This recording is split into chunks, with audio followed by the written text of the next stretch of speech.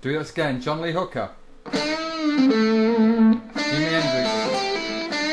Twice.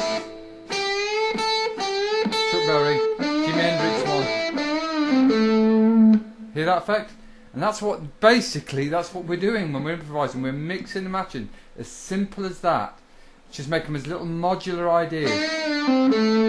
Hendrix.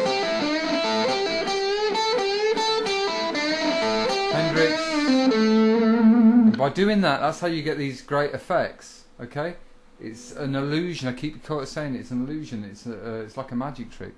And once you explain the uh, the uh, effect, you probably go, "Is that it?" Yeah, but it's still a great illusion, and that's what you're going to do. So if, if, I put a little bit of a backing in between, you'll get uh, an idea. I keep using this little A backing.